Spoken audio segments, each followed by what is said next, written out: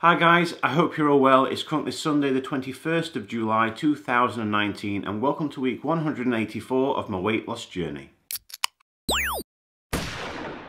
In last week's video we all saw I lost one pound or 0.4 kilogram which meant my body mass index went from 47.8 down to 47.7. I'm going to start the proceedings off by reviewing my calorie consumption for the past week, which we can see in the graph above. The average of this was 2,769 compared to the previous week at 2,477. So it's obviously gone above my allowance at 2,700. I'm not really surprised by this because last week I did mention I had to go on a work trip to Stoke-on-Trent.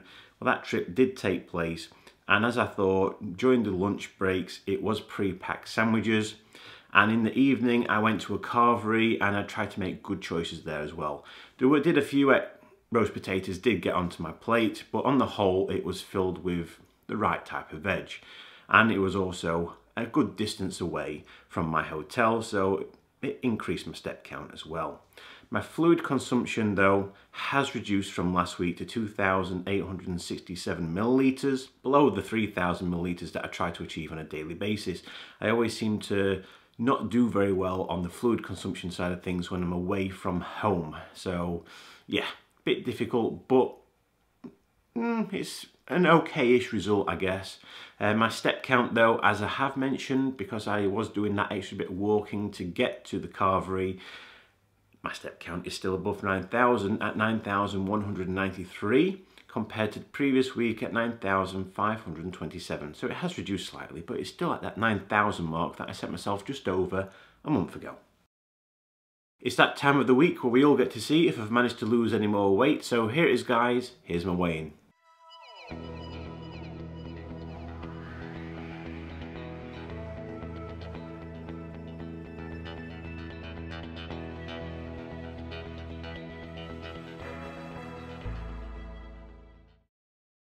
I weigh 163.8 kilograms, which is 361.2 pounds, or 25 stone, 11.2 pounds. This means in the last week I've seen a gain of 1.5 pound, or 0.6 kilogram. If I compare this result to the result I obtained at Slimming World, you can see this right here. At Slimming World this week, I also saw a gain of 1.5 pound, or 0.6 kilogram.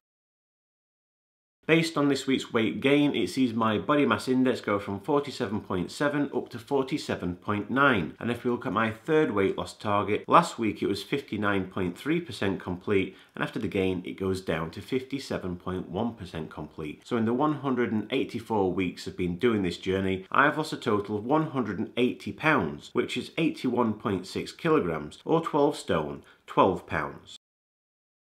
Next week, I don't have any more work trips planned, so I'm back home so I can be 100% back on plan.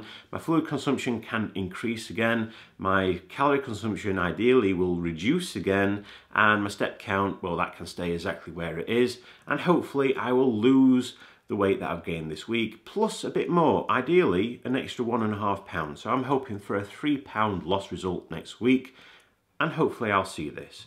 But other than that guys, that's it. That's the end of this week's video. As always, if you'd like to continue following me along my weight loss journey and hopefully get to see a lot less of me in the future, why don't you subscribe to my channel so you don't get to miss out on any future videos that I post.